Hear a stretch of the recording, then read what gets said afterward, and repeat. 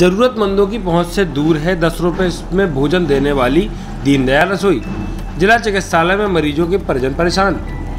पन्ना जिला चिकित्सालय में ग्रामीण क्षेत्रों से इलाज करवाने आने वाले मरीजों के परिजनों को भोजन के लिए समस्याओं से जूझना पड़ रहा है। क्योंकि जिला चिकित्सालय परिसर में कैंटीन की सुविधा नहीं होने से होटलों में मिलने वाले महँगे भोजन को खरीदने में सक्षम नहीं होने से गरीब परिवार जिला चिकित्सालय परिसर में ही लकड़ियाँ और कंडे एकत्र कर मुश्किलों से भोजन बनाकर अपना पेट भरते हैं। दस रुपये में भोजन उपलब्ध करवाने वाली नगर पालिका के माध्यम से संचालित दीनदयाल रसोई जरूरतमंदों की पहुँच से दूर अमीरों की बस्ती में सिंचाई कॉलोनी में संचालित है, जहाँ पहुँचना बाहरी और ज़रूरतमंदों के लिए आसान नहीं है।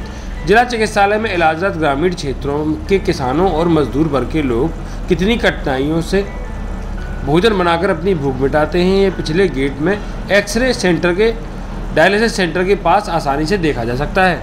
कई बार दीनदयाल रसोई जिला अस्पताल बस स्टैंड जुगल किशोर मंदिर के पास संचालित करने की मांग उठाई गई, पर जिम्मेदारों द्वारा कोई ध्यान नहीं दिया जा रहा।